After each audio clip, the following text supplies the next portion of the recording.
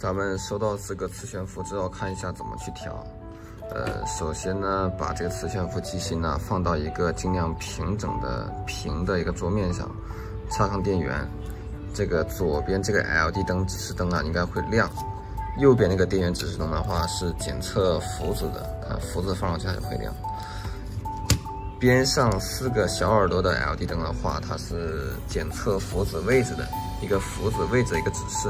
刚开始放的话，最好就得垫个东西，要不然这个磁铁很脆，容易撞坏。呃，你看一下，放的话，放好之后，正常你前后驱动的话是有力的，左右也是一样。当你伏子偏向一边的话，它这个 LED 灯啊会暗一点。来看一下，你看没有？我往这边去拉了一点，它这边会暗掉。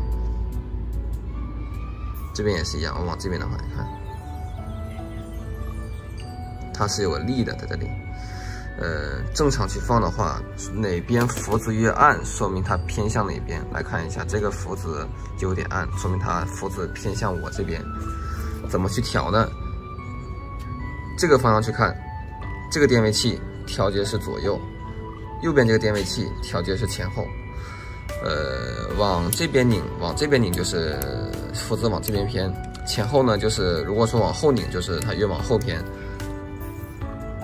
现在是往我这边偏，那说明刚才说了是这个电位器对吧？这个电位器调节前后，往我这边偏，说明这个电位器要往后拧，没错吧？就是来看一下，我放上去之后，这边灯暗一点，说明往这边偏，我要给它往后调一点，手上要扶一下，然后给往后拧，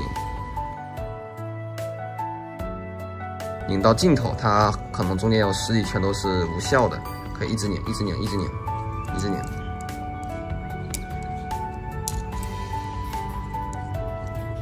呃，它现在已经往后偏了，大家看一下。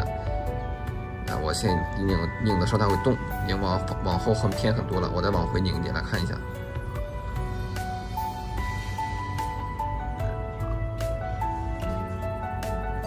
再来看一遍，我往后拧，它会往后面偏一点点。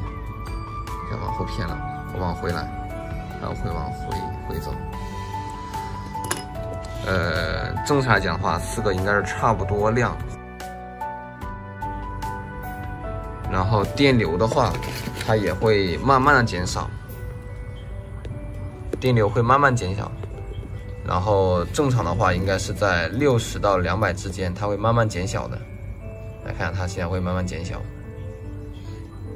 如果说长时间没放好的话，它这个就会发热哈，这个线圈会很烫。可以在如果很烫的话，就是可以休息半小时再再调。